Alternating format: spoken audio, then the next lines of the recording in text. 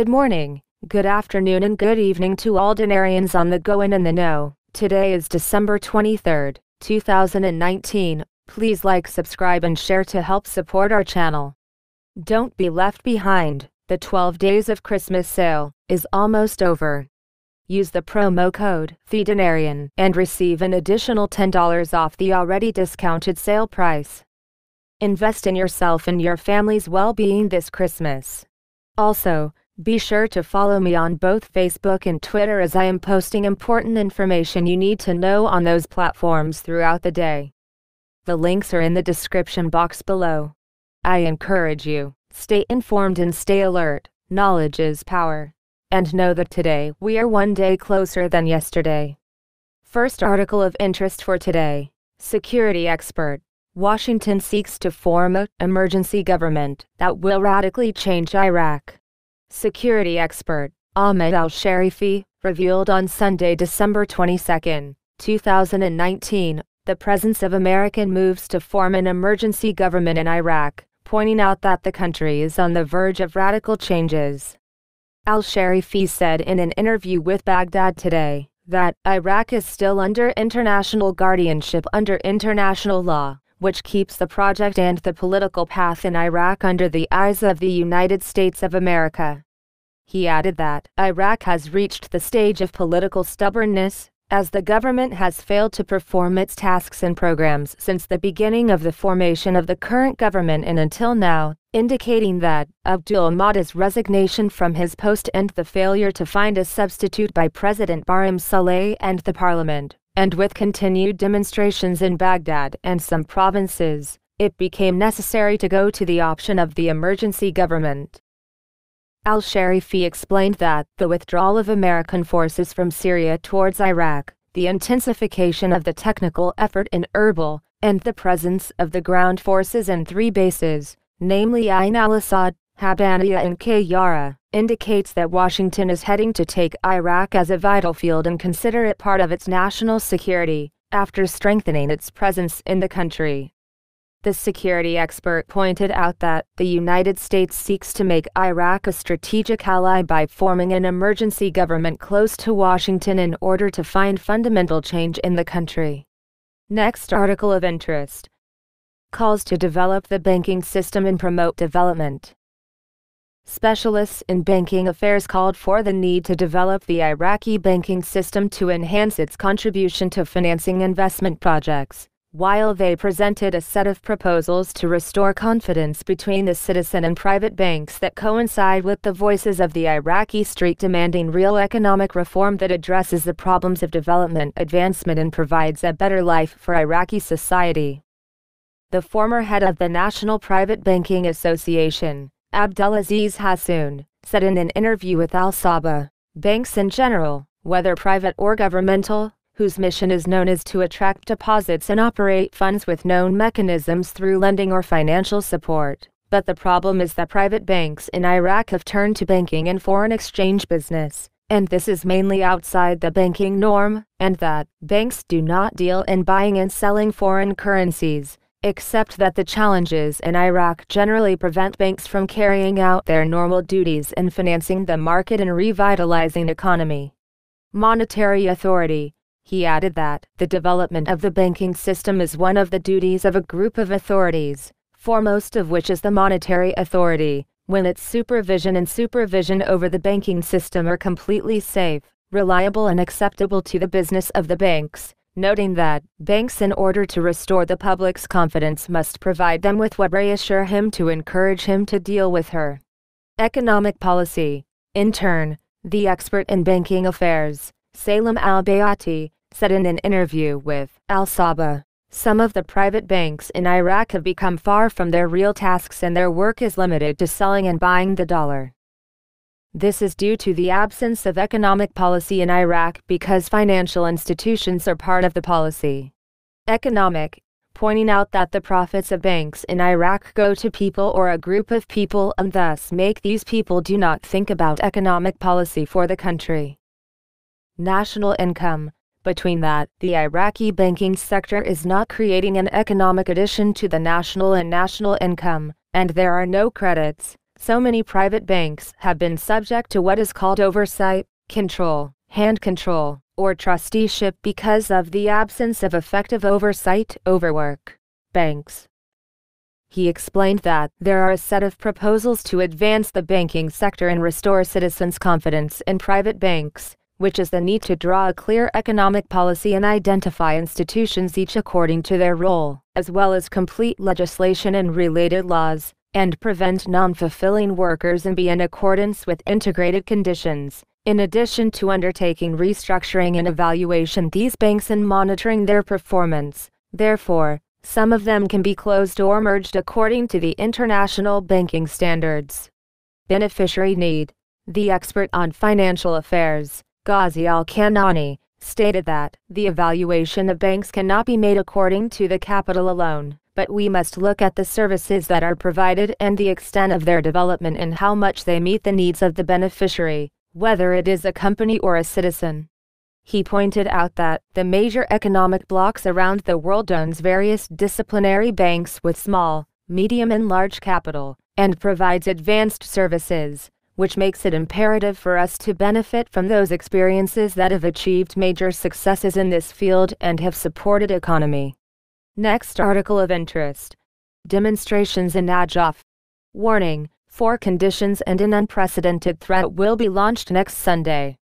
The demonstrators of Najaf issued a statement today, Sunday, against the background of reports that challenged the attribution of the position of Prime Minister to the candidate of the Construction Alliance Qusay al-Suhail, while threatening to take unprecedented steps that start from next Sunday. The following is the text of the statement. Statement of a number of Najaf unions, universities, and activists. In the name of God, the most gracious, the most merciful, at a time when the Iraqi sit-ins and peaceful demonstrations in order to reform the country and their sacrifices that have caused killing, sniping and various forms of violence, have resulted in the martyrdom of more than 500 citizens, and the wounding of more than 20,000 others. The ruling political forces are still insisting on procrastination, procrastination and the overriding of their interests. It is in the interest of the Iraqi people and the demands announced by the revolutionaries and supported by the supreme authority of reference. These forces still cling to their chairs stained with the blood of martyrs and wounded, and use assassination and kidnapping methods for activists and demonstrators, and procrastinate to pass a prime minister from the corridors of their suspicious deals. And these forces still wish to deceive the people with an election law that renews the rise of their thieves again to power, and still talks about the dates are very far away from the elections, in order to gain time and rebuild their ranks after the unity, peacefulness and awareness of the peaceful demonstrators disperse them. But we are deceived, quiet and silent. We say it with a clear voice. We warn you against procrastination and procrastination. We know your games, and we know very well from the beginning of the demonstrations all your attempts to stay in power using a prime minister from your parties to serve you and cover up for you, and an election law that restores your dulling faces to us. Accordingly, we confirm the following. 1. Within the current week, the fair election law announced by the sit-in squares in Iraq must be enacted in multiple districts within the governorate according to population density 1 seat per 100,000 people, 100% individual nomination, and the candidate with more than 51% of votes in the constituency. 2. The political forces must accelerate the selection of the head of the transitional government in light of the conditions announced by the sit-in squares more than once, and that the president and the ministers be from outside the corridors of the ruling parties. 3. Announcing a specific date for early elections not to exceed six months. 4. The elections should be under the supervision of the United Nations. Otherwise, the square of the Najaf sit-in will call for an unprecedented peaceful escalation, which begins with a general strike for one day, next Sunday, 29 December 2019, in which unions, different segments of society, and students who are already striking from the beginning of our demonstrations, will participate, and the strike includes departments and institutions governmental, even health, except for emergency departments that pertain to critical situations and necessary service institutions. Then it will be wider and with an increasing period of time based on the level of response of the political forces to the demands of the people, and the peaceful escalation may reach comprehensive civil disobedience. Procrastination will not help you if you knew. A number of Najaf unions, universities, and activists. Next article of interest. Announcing the formation of the Electoral Commission Board in Iraq. The Supreme Judicial Council of Iraq announced today, Monday, the election of seven judges to form the Council of the Independent High Electoral Commission for Iraq. Sources in the Supreme Judicial Council stated that, after the lottery was conducted by the Supreme Judicial Council, Judges Abbas Farhan Hassan, Jalal Adnan Khalaf, Amir Musa Muhammad, Fayyad Hussein Yassin, Ali Rashid and state advisors, Inam Yassin Muhammad and Fatah Muhammad Yassin, were chosen as members of the Electoral Commission Council. She explained that the Supreme Judicial Council in the Kurdistan region had been approached to send two candidates who met the conditions stipulated in the law representing the provinces of the region in the Commission Board.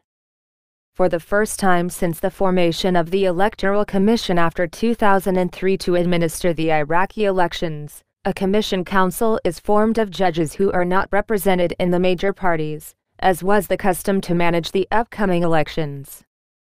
The formation of the Commission Board of Judges is considered in response to the demands of the protest demonstrations after the failure of the previous Commission's work. Next article of interest. A member of the Sadr Alliance talks about a surprise brought to him by Salih regarding the alternative of Abdul Mahdi. It will be known within 48 hours.